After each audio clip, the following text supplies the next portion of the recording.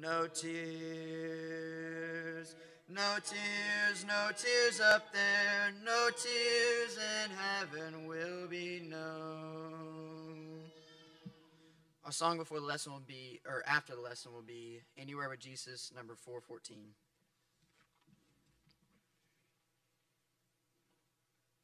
Getting in front of anybody else?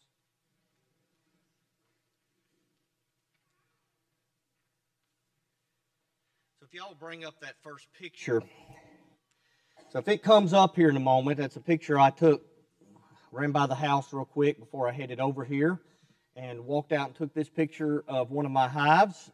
So right now it's really hot, so they're all hanging out on the front porch because they don't have air conditioning on the inside.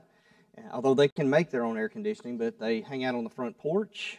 And I want to take a picture of this hive because I have about nine hives behind my house, and so it's something I enjoy hanging out with bees. I like to say sometimes I'm stung less by bees than people, and so I enjoy hanging out and spending time with them. But what can happen is sometimes you can get really comfortable being around them. And so if you're around your bees and if you if you're into them a lot, they get used to your pheromones and so they can be pretty chill around you depending on what time of day you go in there, especially if you go during the middle of the day when it's mostly the young bees. It's a little worse at the end of the day if the forager bees are all home, then they get a little grumpier. But what can happen is you get used to being around them and you're it's it's really hot here. So I don't put on I don't have a full suit, I just have an upper vest, then I have a little hood I can wear. I don't like to put that whole thing on unless I have to. Because it's hot in Alabama and I figure there's a greater likelihood of dying of heat stroke than dying of bee stings. And so sometimes I'm like, mm, I'm going to go bee sting. And so I was recently just, a lot of times I come in at the end of the day and I have just a few minutes if I need to do something.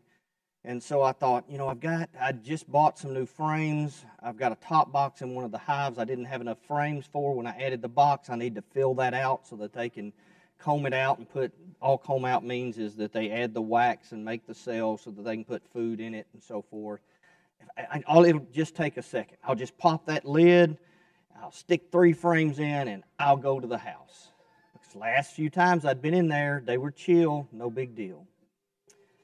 I cracked that lid, and I got six stings from here up in about seven and a half seconds.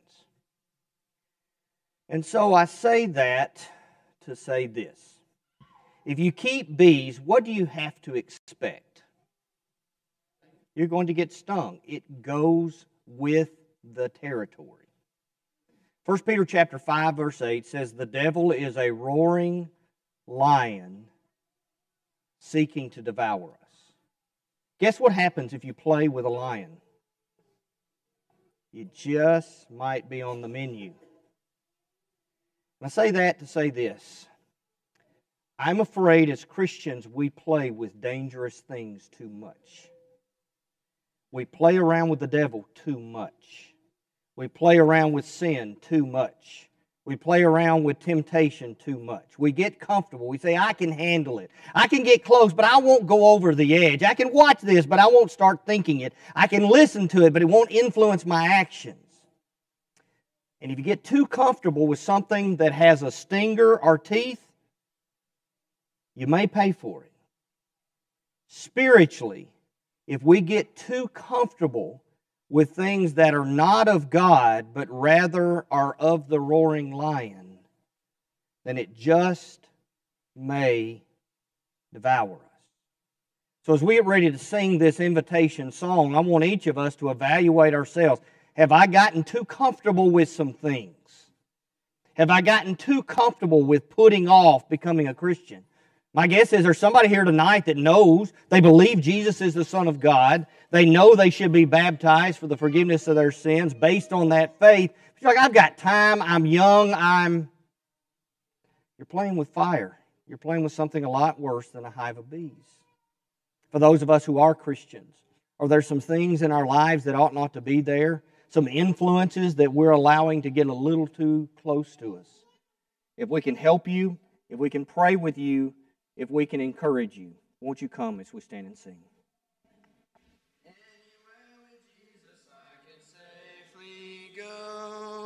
Anywhere he leads me in this world below. Anywhere without him, dearest joys would fade. Anywhere with Jesus, I am not afraid. Anywhere, anywhere, fear I cannot know. Anywhere with Jesus, I can safely go. Anywhere with Jesus, I am not alone. Other friends may fail me, He is still my own. Though His hand may lead me over dearest ways, anywhere with Jesus is a house of praise. Anywhere, anywhere, fear I cannot know. Anywhere with Jesus I can safely go.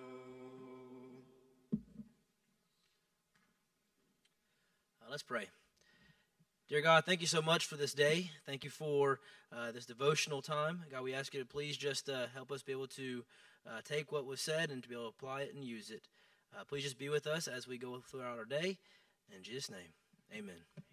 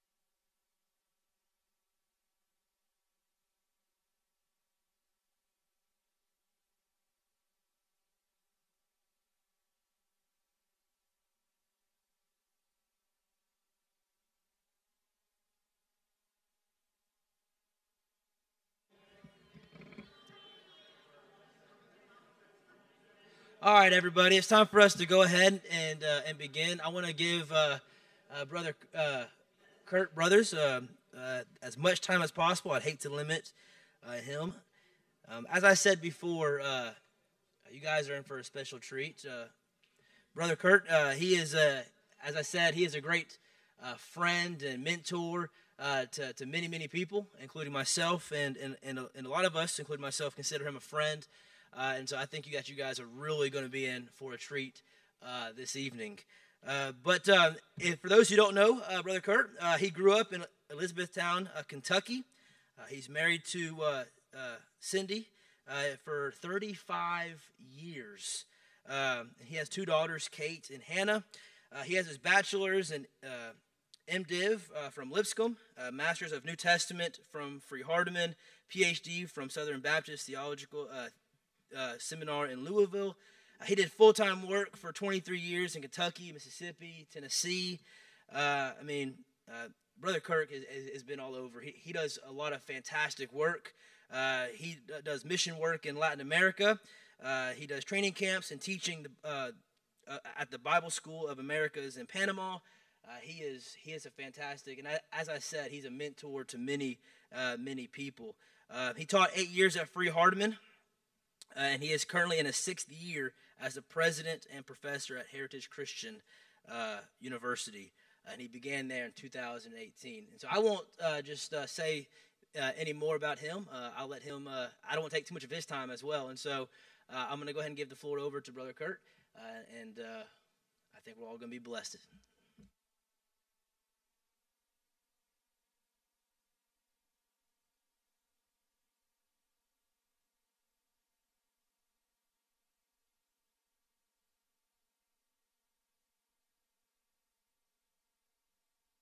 Former students, at least, that I've talked to, talked to tonight.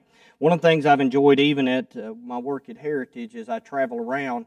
I run into a lot of my students from Freed-Hardeman, and now I've started running into students that I've taught at both of the schools. And I literally have taught a number of students that I had at Freed-Hardeman who are now students with us at Heritage Christian. So I'm grateful to him for his kindness and his introduction. And uh, my brother in law is one of my, I guess, my second best friend in the world uh, because my wife is number one. And I know they're good friends. And uh, I'm just glad to be with you. Regret my wife. We, I have two daughters. One lives in Gallatin, works in Nashville. Another one, I have a special needs daughter that lives at home with us, but Cindy and Katie can't be here tonight because they're actually at her parents'. Uh, in fact, I told him probably eating supper uh, with his friend Joey as we speak. And so I'm grateful that I can be with you. If you've got your Bibles, we're going to be in Judges, but I'd like to start off in Deuteronomy chapter 34. Now, periodically, I'm going to look over my shoulder to make sure that the slides are changing for us because I want to get the text in front of us. In some of this, I've got some maps. I want you to be kind of be able to see what's happening uh, on a map to think about distances and directions and those kinds of things. So I apologize in advance for looking over my shoulder. But if we look in Deuteronomy chapter 34, it says, Since that time, no prophet has risen in Israel like Moses, whom the Lord knew face to face. And that's a, a, a, key expression. It's a, it's a way, we know from Exodus chapter 33 that no one can look on the face of God and live, that no one can handle the full brunt of his glory. So when it says face to face, literally Exodus 33 talks about him speaking face to face like to a friend, and then a few verses later says, You can't fully look at me. So, how do I reconcile those? Well, I can't literally, with my human eyes, handle the full presence of God. When he says God spoke to him face to face, it is a symbolic way of describing the closeness of their relationship. Okay? They are tight. I, I've often said my favorite characters, other than the Father, the Son, and the Spirit, are Moses in the Old Testament and John the Apostle in the New Testament because they kind of look like God's best friends. In the Old Testament, Moses had a really, really unique relationship with God. In the New Testament, John the Apostle seems to have had a really, really unique relationship with Jesus. I want you to think about that as we move forward and eventually are going to skip from Deuteronomy over to the book of Judges. And so if you want to park in your Bibles, you can get to Judges chapter 17 and 18. So, did anybody here grow up on comic books? I'm trying to see who my cultured people are in the room. Okay, so I've got a few that'll confess it. Some are, doctor over here says he's a little wishy washy. He's not sure. Brother Baggett wants to own up to it. You'll, you'll confess it, all right? So, I grew up in a comic book world. In fact, the, the picture on the screen, some of the comics back when I was a kid that my mom had in the attic. So, I took a picture of them one day. And uh, I remember when I was a kid, the Incredible Hulk television show that with Lou Ferrigno that came out. When I got home in the afternoons, I remember there was a Spider-Man animated show. On Saturday mornings, you had Batman and Robin. A world of superheroes. It's actually interesting. I don't know if y'all can see, but over on the left-hand side, there are four comic books on there. I don't know if you can see over here, right there that one on the Hulk actually talks about Doc Samson, which is a superhero character that is a little bit a play off of Samson in the Bible. He literally had long hair and superhuman strength and hung out with the Hulk. I didn't realize that until I was looking at that uh, right before heading over here. The reason I want you to think about that is we, in our culture, down through the years, we've tended to try to find some make believe superhero and that's it gives some folks something to believe in. Some just do it for fun and for a pastime. If you were to talk to an Israelite in the first century, they're heroes, not comic book heroes, not make believe, but they're real. They're real heroes. If you wanted to convince a Jewish audience in the first century, at the time of Jesus, of something you had to say, then all you had to do was quote one of these three people. If you quoted Moses, you quoted Abraham, or you quoted David, they would listen to what you had to say because you are quoting their idols. And now, idols, I'm not talking about idols in the way we're talking about tonight. I'm talking about in the sense of people they look up to and they respect. They were their national, real life, not made up, real life superheroes. I want you to hang on to that because as we spend some time in the book of Judges, the book of Judges is largely a book about people struggling to find a hero. As we wrestle with, you've been dealing with various idols this summer. Things we bow down to instead of bowing down to God. What I want to do tonight is pull all of that together and wrestle with what does it look like when a people don't bow down to God we're going to spend some time in the book of Judges. So, in just a moment, we'll look at Judges chapter 17. But the key verse in the book of Judges is Judges chapter 21, verse 25. You have almost the same phrase twice. You also have the expression, uh, there was no king in Israel, that shows up multiple times. It's either four or five times in the book, and they're all from chapter 17 onward. The theme of the book is there was no king in Israel, and everyone did what was right in his own eyes. There are two problems presented there. Over and over at the end of the book, in the darkest portion of the book, they keep saying, in fact, it's like, it's like a stopping mark. And we'll see that tonight. It's, it's, it's like a mile marker. That's probably a better way to put it. You think back going down the road, mile marker one, mile marker two, they have these mile markers as they're telling at the end of the book of Judges, as they're trying to describe how bad it was, they stop and put a, put a mile marker. And that mile marker is there was no king. There was no king. They had a problem of a lack of spiritual leadership. Now, a king does not guarantee they will have spiritual leadership, does it? Did Israel ever have kings? This is yes. This this is I'm asleep. Don't bother me. All right. So, did they they had kings, right? Were they all good? Okay, so the problem was not so much just that they didn't have a king, because a king was no guarantee. What they didn't have was spiritual leadership. And so, because they didn't have spiritual leadership, what then was the other problem in this phrase? Everyone did what was right in his own eyes. You see, there's two problems there's a leadership problem and a basis of morality problem. And that undergirds the entire book of Judges. So if we're to look at what's happening in this book, I kind of break it into a simple three part outline. I find with any book in the Bible, if you can have a theme verse that summarizes the book, a theme phrase that summarizes the book, and a simple outline that you can stick in your head, then you can use that book easily the rest of your life. Or at least you've got an entry point. You know what it's about, you know how it breaks down.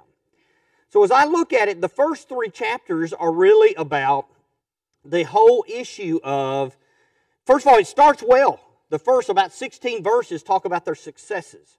But then it goes downhill quickly until you get to the end of the book, you're literally at the bottom of the drain. Okay, so they start way up here, and then you've got this funnel downward going on all the way through the book of Judges. So at the begin from the beginning then through about verse 6 of chapter 3, you are introduced, or we are introduced to the cycle of sin. See, turn this in the right direction. Y'all may have to advance it for me. So, in the cycle of sin, what happens is they rebel against God. God rebukes them by raising up a nation around them, allowing their enemies to defeat them. They then many times repent. Actually, the book, they don't even always repent. Sometimes they'll repent and reach out to God, sometimes they just reach out to God. But they will turn to God in some way, and then God will raise up a judge and restore them to their freedom. So that's what's happening. I think I must have killed this. So in the book, that's what's happening. That's the first three chapters. It kind of introduces us to the cycle of sin. Then, really starting around verse 7 of chapter 3 and going through chapter 16, you have the judgments and the judges. You want me to just talk and y'all kind of follow as best you can? Do what? Okay. I'm really good at breaking things. So, the second section deals with the judgments and the judges.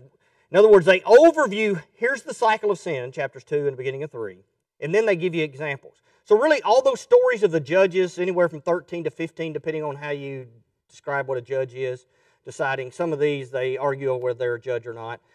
But you have this cycle. Why do you have all these judges? Because those are all cycles. You have to have a new judge every time they start a new cycle. So when you have rebellion, rebuke, repentance, and restoration, there's a, there's a judge mixed in that all the way through. And so that happens through verse 16, and they get to one of, if not the worst judges, which is Samson. Then you have the end of the book where you're, you're, you're circling the drain with Samson, but in the last two stories, chapter 17 through the end of the book, you're, you're going down the drain. It is showing a country going down the drain. And so it's kind of like the author of the book said, hmm, let me pick out the two best examples of how bad things got. I know what we'll do. We'll talk about Micah and Dan fighting over the idols in his house, and we'll tell the story about the concubine and the civil war.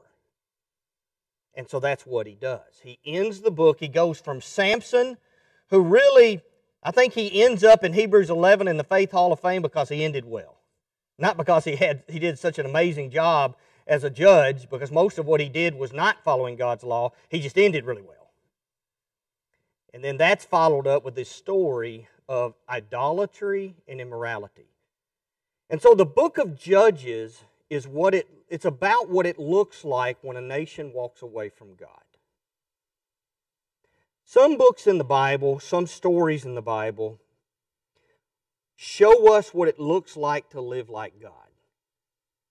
Some books show us what it looks like not to live like God. So if you pick up the book of Judges and your goal in the book of Judges is to look for a bunch of role models, you're not going to find many. There are some there. Caleb is a role model. There are some there, usually the earlier ones. But by and large, it's showing us what happens when there's no spiritual leadership and everyone did, does what is right in their own eyes, not what is right in God's eyes. So, with that in mind, let's kind of walk through the story in Judges chapter 17 and 18. What I see as you think about this concept of a hero, I want you to think about a nation that desperately needs a spiritual hero. They started out with one. One of my favorite stories to tell is the story of Caleb from chapter 1. I mean, he, he was a hero, he was literally a living legend. But once you get past the, his story and he's giving some land and some water rights to his daughter Achsah, who married his nephew, once you get past that and the conquering of Debir, the book drops off a cliff. And they can't seem to find consistent spiritual leadership. They can't find a hero. So, as we look at what's going on in Judges chapter 17, I'll try not to look over my shoulder so much. So, if it doesn't match what I'm talking about, just look real puzzled or like, what? And I'll look over my shoulder and try to find it. In Judges chapter 17, verse 1, it says, There was a man in the hill country of Ephraim whose name was Micah. So, if we were to look at a map, the bottom right hand corner, if you want to kind of think of the layout of ancient Israel, over here on the left hand side, you've got the Mediterranean Sea. Down here in the bottom right hand corner, you've got the Salt Sea or the Dead Sea. You go straight north, okay, from the top of the Dead Sea, about 66 miles, and you run into the bottom of the Sea of Galilee. And then on a map, you're going to have this squiggly line that runs from the Sea of Galilee down to the Dead Sea, that's the Jordan River. And the Jordan River is actually a couple of hundred miles long. It's just smashed into a 66 mile space. So it just kind of does this all the way down. And so if you can think about Israel that way, it helps you to lay it out. You've got bodies of water, you've got two seas, two lakes, if you will, and a river on one side, you've got an ocean on the other side. And if you were to go to the top of the Dead Sea and hang a left, you'll run into Jerusalem. And then up around Galilee, you're going to have Nain, you're going to have Nazareth, you're going to have Capernaum. And you can kind of think in terms of that. In other words, you can often find the key cities by finding the bodies of water and then connect them up that way. So, what I want you to see is where Ephraim is. This is the tribal allotment of Ephraim. So that's where Micah is in our story. So you see the Salt Sea or the Dead Sea over there in the bottom right hand corner. Maybe I can help you in perspective wise as we walk through this story. So the text says, back in chapter 17, verse 3, he returned some money he stole to his mother. All right, so it's really interesting. Like the author of Judges picked out this story and his story begins with him coming back and saying, Mom, I stole 1,100 pieces of silver from you. Some think it may have been a dowry, don't know exactly what it was. I can't find an exact modern equivalent, but it's a pretty good chunk of change. Abraham bought the cave of Machpelah for about 400. This is 1100. 1100 is what they paid Delilah to betray Samson. It's a pretty good chunk of change. And so he stole it from his mother. And so he is bringing it back saying, Mom, I stole all your money. I emptied your bank account. So let's start. The story starts with a son stealing from his mother. Now, I'm glad that he brought it back. I'm glad he told his mom. But there's a problem for me with the fact he stole from her in the first place. Now, if we continue in the story, notice that the, what does the mother say? Let me get you on the same page I am. What does the mother say that she's going to do with it? Okay, she's going to give it to the Lord, but what's her concept of giving it to the Lord? Okay, make an image. Okay, the fact that she is going to honor the Lord with her, she's going to take the money her son stole and she's going to use it to make an idol. What does that tell us about their understanding of God? Do they, have an awareness? Uh, we call it the Ten Commandments. I tend to call them the Ten Wedding Vows because you've got the marriage between God and Israel, and those are the vows at the wedding. So, did were they very aware of those? Okay, if they know God's law very well, they know you don't make any images. Okay, so God's like, the way you honor me is not by making a statue. So you've got throughout this story a lot of religious talk, but you don't have truth. It's possible to talk about religious and spiritual things and not have God's truth and not be doing what God's asked for. So the mother decides that she is going to use that to build a shrine. So in verse 5, Micah had a shrine and he made an ephod and household idols and consecrated one of his sons that he might become his priest. All right, so he makes a place of worship. He has an ephod just like Aaron is going to have a special breastplate that he's going to use in honoring God. Micah makes his own, and he appoints his own priest, one of the boys in his family. So his son becomes his priest, and that priest is going to oversee his house of worship, his temple, where he set up his gods that the family is going to worship. And all this is financed by money that he stole from his mother. So, have we found a hero yet? Hey, there's, there's no spiritual hero in the story yet. If we move to verse 7. Now, there was a young man from Bethlehem in Judah, of the family of Judah who was a Levite. And what he's going to do is he's going to travel from Bethlehem to Ephraim. So in this particular map, it shows you where Bethlehem is down below Jerusalem. It's just a couple miles south of Jerusalem. And where the region of Ephraim is. So it's going to be, just to give you an idea, he's traveling north, slightly northwest. And what he's doing is he is looking for work. He is traveling looking for work. I don't know what your experience is growing up. Once upon a time, I preached in Mississippi, and there were a lot of people living around Hatley, Mississippi, who had moved up north, in particular, had taken jobs with a lot of the car factories and stuff up around Detroit because they couldn't find work. And so they traveled up north to get work, and then they retired back around Hatley where they had grown up. This is a guy traveling north looking for work. The Levites didn't have their own section of country like the other tribes. Okay, you had an allotment here for this tribe, allotment here for this tribe. The Levites are scattered among the tribes. And so they had individualized cities and then they worked within the other tribes. They were the spiritual guides, preachers, teachers, etc., within all the other tribes. So you've got a man who's supposed to be, he's from a tribe that's supposed to focus on spiritual things and God and worship and teaching about God, and he's traveling looking for a job. Now it's important in the story, where is he from? Did that pop up? That's a really big deal. The last two stories in the book focus on events that happened in the book of Bethlehem or in the city of Bethlehem. And I'll come back in a moment or at the very end and try to, to re emphasize that. He is from Bethlehem. I think we all, maybe, I don't know, I don't know everybody's background. Do we know any important events from Bethlehem? Anybody else from Bethlehem that we know? Okay. David's got connections there. Jesus was born there.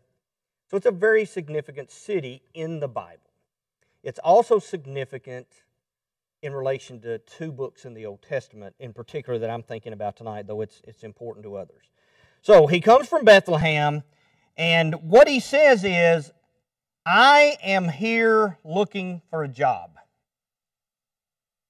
And so what Micah says, look in verse 10 dwell with me, be a father and a priest to me, and I'll pay you a salary. Okay, I'll give you a yearly salary, I'll give you clothing to wear, and I'll give you what we would call today three squares a day. Okay, I'll give you three meals a day. If you'll just come, because who has been his priest up to this point? His son, who's not of priestly descent. So who happens to show up at his front door looking for a job? A Levite, a man from the tribe of Levi, the priestly tribe. Hey, I can actually have a priest that is legitimately from the right tribe. But what is the problem? He's going to be a priest to what? To idols. Okay? So you've got a little bit of following God and a whole lot of not. Notice what Micah says after he hires him. What is his statement?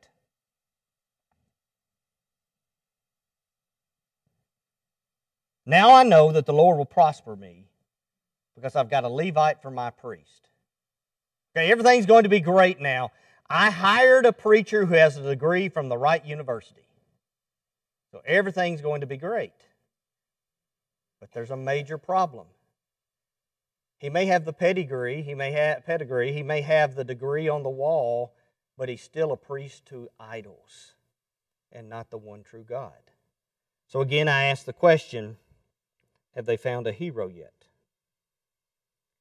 If we jump to chapter 18, notice the phrase in chapter 18, verse 1. In those days there was what? No king in Israel. Just notice how that just keeps popping up all through the text. In those days, the tribe of the Danites was seeking an inheritance. All right, so it's important to kind of help picture this. Here is the tribal allotment for the tribe of Dan. So, to put all our key things in perspective, you've got Bethlehem, which is where the priest is from. Did it, it gave the name of Micah. Micah's from, this is, he's from Ephraim. You've got the Levite from Bethlehem. The, the allotment for the tribe of Dan is here. Now, does it give you the name of the priest? Not yet. The author does a big reveal at the end, so I hope we have time to kind of talk about that a little bit. But what I want you to think about is their allotment is that little green shoe shaped thing there. And the text says they had not been allotted. Really, the idea is they had not fully taken possession of it. Also, I want you to notice what it is close to. Do y'all see the cities in the circle there? Anybody recognize any of those cities? What people group? There were five city states that worked together as a unit. And they were known as the Philistines. All right, so their allotment was right next door to the Philistines. So what plays out, like what's going to happen next, likely goes back to the fact that they're not terribly excited about having to take their inheritance away from the Philistines. So in chapter 18, verse 2, it says, The sons of Dan sent out messengers to spy out the land. They want to find a better place to live. They have an allotment, but they haven't possessed it, and they don't particularly want to stay there. And so they came to the hill country of Ephraim and to the house of Micah. So they're on their way. They're, think about how Moses sent out the 12 spies before they went into the promised land? They're sending out spies. Go look for a better place for us to live. So as they're traveling, they're working their way northeast. So they're going, you can see here from Zorah. And what section do they go through if they travel northeast from Zorah? They go through the country of Ephraim. And so as they're traveling along, hey, there's a house. All right, so let's stop in and see if we can get something to eat. So if you look in verse 3, when they were near the house of Micah, they recognized the voice of the young man. Now, this probably doesn't mean they were like close neighbors and so they knew the sound of his voice and that kind of stuff. It probably means as they're traveling, they heard him talking, and he had a unique brogue which meant he was not from around here. Do you think I'll ever be confused for being from Boston? It'll never, ever happen. I remember one time a friend of mine who is from Mississippi, we were walking across the plaza in Washington, D.C., in between State House and the Lincoln Memorial. So we're just walking across, two friends talking. There's people everywhere. You know, we're not paying any attention to anyone else. There's a man walking along beside us. And so it turns out he was walking with us all the way across the plaza to a museum or something we were going to. We get to the other side, and he said, I just have to ask Alabama, Mississippi, Georgia, Tennessee, which one are you from? And I thought that was fascinating because, I mean, if you go to Washington, D.C., the whole world, there's somebody from every planet there. Okay, every country, whatever you can imagine. The, his point was you have to be from the South. So that's likely what's going on here. They said, hey, there's somebody here who's not from around here, and that starts a conversation. Now, as they begin to talk, they, he, they find out that he's a priest. Oh, great, we've got a priest. Maybe he can talk to God and let us know what we should do. And so he tells his story, tells them how he has become a priest for Micah. They said in verse 5, Inquire of the Lord. In verse 6, the priest said to them, Go in peace, your way in which you are going has the Lord's approval. I have no idea if he actually had any inclination of what the Lord wanted. But he seems to have told them what they needed to hear. So let me quickly overview what happens in the next part of the story. What they do is they're going to keep traveling northward and they're going to go up above the Sea of uh, Galilee and they're going to end up into at, at the city of Laish. And I had the opportunity several years ago when I finished my undergrad. I went and lived in Israel for the summer, and so I remember visiting the ancient city of Laish, which ended up having, because of this story, ended up having the name of Dan. So if I can see on the map over here on the left, this purple line here going up is showing you the route. It was a hundred miles from here up to here. So they're walking, these spies, they travel a hundred miles north, north of the Sea of Galilee. Here's where they came from, the tribal allotment of Dan. Right above it is Ephraim. And then way up here is Laish, which would come to be known as Dan. And so in Judges chapter 20 and verse 1, you have a key phrase that's found in the Old Testament. It talks about the sons of Israel from what to what? From Dan to Beersheba. Now, when they went up there, the Israelites did not control Laish, or what came to be known as Dan. But after they invade the city, Israel has possession of it. And so the the southern border was Dan, or the northern border was Dan. The southern border was Beersheba. So the spies are going to go there and they're going to find a peaceful people and an attractive land. Okay, they don't have an alliance with any powerful city state. They don't seem to have have like for example, I do a lot of mission work in Panama. Panama doesn't have a standing army. Okay, part of the agreement on the canal is we have to defend the canal. I'm not. They have a police force, but if Panama's ever invaded, U.S. soldiers have to come and defend it. They don't have their own standing army, and so Laish was a peaceful people, and they had been able to be at peace and survive because they, they were out in the middle of nowhere until the spies from Dan found them. And so, if you look at verse 30, the sons of Dan set up for themselves uh, a graven image uh, let me back up. Let me give you just a summary of what all happens next. They're going to go up to Laish and they're going to find a peaceful people. They're going to come back and say, Hey, we found this amazing, beautiful, wonderful city, and they don't have a way of defending themselves. They're going to send 600 soldiers back up there, and they're going to end up taking that city. The problem is, as they're on their way, they are going to stop at the home of Micah. And what are they going to do? Because remember, they've already traveled by and met Micah's priest. So, what have they done? They stole his priest and they stole his main idol. They are literally fighting over idols. And so they are going to take it for themselves and they are going to set up a graven image. They took over his priest and his false worship and made it theirs, and they moved it up to Laish, the city they had just conquered and taken from a peaceful people. Do you see any spiritual heroes in this story? Can you see why maybe the author of the book of Judges might have chosen this story? Just share with me what are some evidences you see in this story of how bad things were in Israel?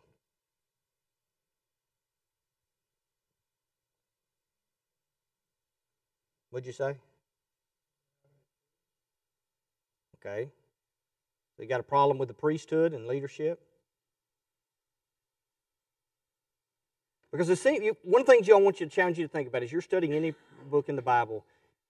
Why did this author tell this story? Because every author could pick many stories. In fact, John, at the end of John, said there are many other which could have been written. In fact, he would say, with their writing abilities that day, if we wrote down everything Jesus did, with our capabilities of writing what he's basically saying, we couldn't get it all in the book. So all four of the gospel writers have to pick out the stories that they think are most important to tell what they need to tell about Jesus to that audience.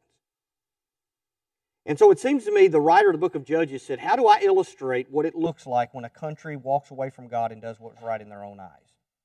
And he picks this story to tell that.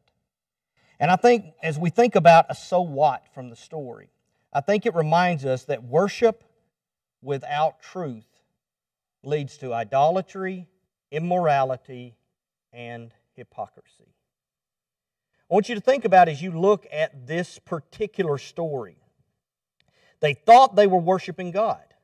Micah thought that God was going to be pleased because he hired a priest legitimately from the tribe of Levi to lead worship to this idol. They used holy items. They used a, a, place of worship. They had a temple, a shrine. They had an ephod. They're mimicking what God wanted, but they're not doing what God wanted. In spite of all of these religious things, they practiced immorality in violation of God's will, and they practiced idolatry in violation of God's will. I am reminded of what is in 2 Timothy chapter 3 and verse 7, holding a form of godliness, although they have denied its power, always learning and never able to come to a knowledge of the truth. They knew some things about God, said Paul, but they didn't fully know truth and they didn't live it out in their lives. In John chapter 5, Jesus said, You search the scriptures because you think that in them you have eternal life. It is these that testify, testify about me, and you are unwilling to come to me that you may have life. It is possible to know some things about God and not be right with God, and not actually listen to and fully follow what we have been exposed to. The second thing is that a holy people without holy leadership becomes an unholy people. I want you to think about the leadership in the story. A mother leads her son in idolatry. That son then leads Micah's family in idolatry. The leaders of the tribe of Dan lead the whole tribe in idolatry. A Levite sells out his services to the highest bidder and can we do that as preachers and youth ministers and church leaders? We can make job choices based on a paycheck, ignoring what Scripture teaches or what God wants. He sold out to the highest bidder. And then you have a Levite that leads a family and then a whole tribe into idolatry. Let me come back full circle to Deuteronomy. In Deuteronomy chapter 34, it says, Since that time, no prophet has risen like Moses. I made the comment earlier that if you wanted to ask a first century Christian or a first century Jew who are their heroes of faith, they're going to mention Moses, Abraham, and David. I don't know, I would be interested in what your Bible says, but in the New American Standard, it says, it finally in verse 30 tells us the name of the priest that was hired by Micah and stolen by the tribe of Dan. And it says his name is Jonathan. It's kind of like at the end, we're going to tell who this guy is. But then I want you to notice what it says about him.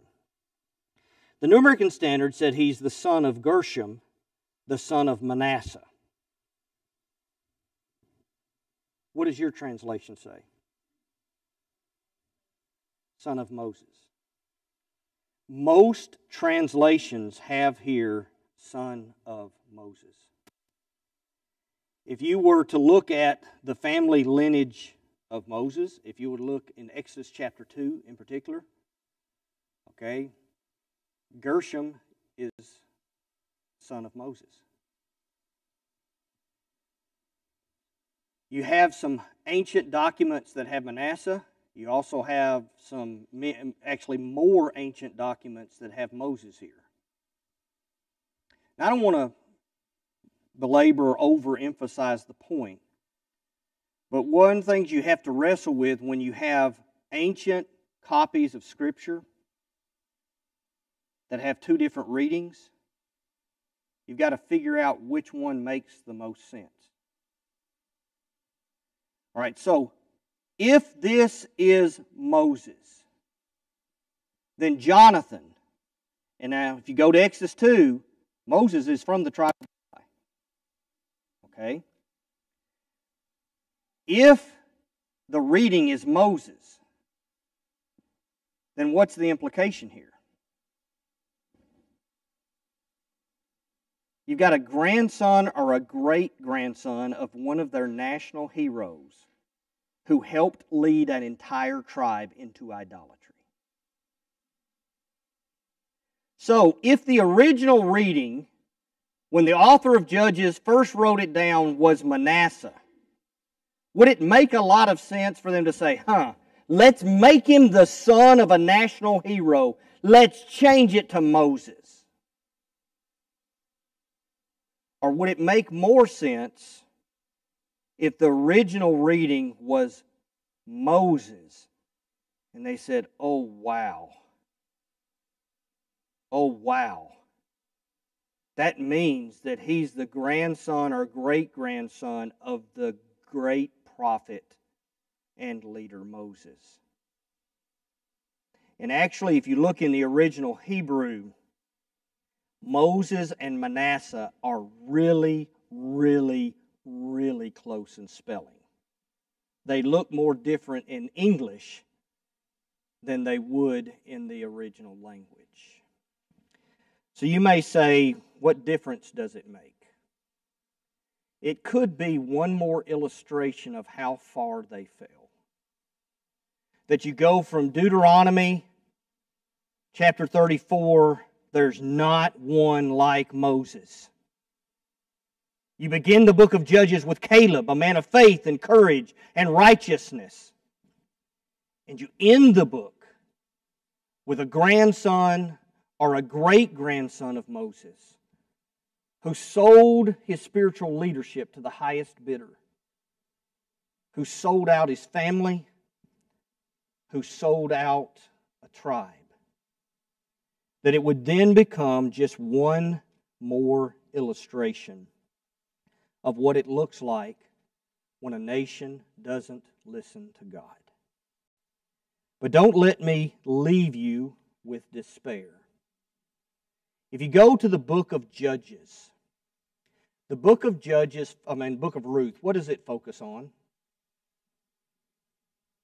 Anybody know what? Where, where does the story in Ruth take place? In Bethlehem. The last two stories in Judges tell about Bethlehem stories. The story in the book of Ruth tells a Bethlehem story. The book begins in the Hebrew with what is called a vav consecutive, which is what is often used to begin a story by saying, and something happened. And it was used many times to say what happened is a continuation of something that has happened previously. In other words, Ruth is connected to Judges. It is the continuation of Judges. It is the third story from Bethlehem. Except in the book of Ruth, how does the story of Bethlehem end?